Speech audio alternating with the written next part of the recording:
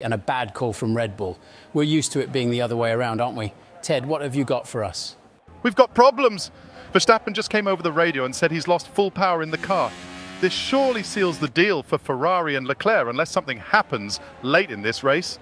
All right, thanks, Ted. And now we'll wait and see if Verstappen can hang on to second.